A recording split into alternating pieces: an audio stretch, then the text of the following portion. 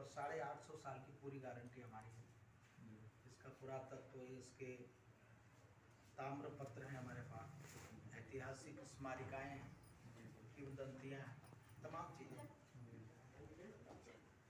और लगभग इसके संचालक जो पहले जिन्होंने स्थापना की है वो आदि गुरु जो हमारे थे वहाँ से लेके आज तक छब्बीस गुरु हुए हैं। इसमें मैं छब्बीसवां हूँ।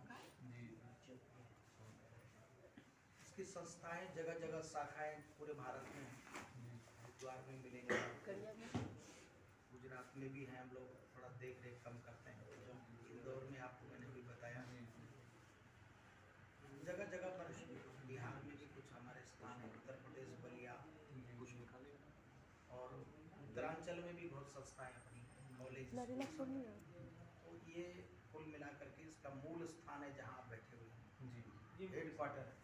ये सबका हेडक्वार्टर हेड क्वार्टर है। यहाँ की अधिष्ठात्री भगवती माँ बुढ़ियाई जी हैं जिनका आप दर्शन कर रहे हैं जी जय माता वो हम सब की परमाराध्य हैं और उन्हीं की सेवा शुश्रूषा यहाँ के महंत लोग करते रहे हैं।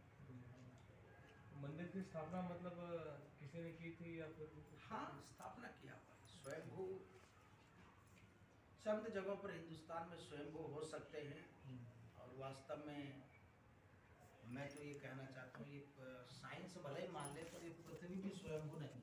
हम्म, इसका भी कोई बनाने वाला है। अब वो टीका टिप्पणी तो लोग हम पर भी कर लेंगे उसका कोई मतलब नहीं है। स्वयंभू का मतलब होता है अपने से पैदा हुआ। मगर प्रकृति का यानी रसायनों का विकार ही कहीं न कहीं से उद्भव विकास में कारण होता है। ये माता जी जो है आठ नौ सौ साल पहले किसी गुरु जी ने इनको स्थापित किया। जी। और जैसे आपने बताया था महामंडलेश्वर के बारे में आपने हाँ जी। आप महामंडलेश्वर में शामिल हैं।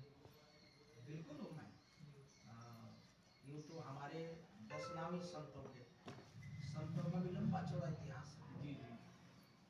और तेरह अखाड़े भारत में टोटल तेरह अखाड़े में सात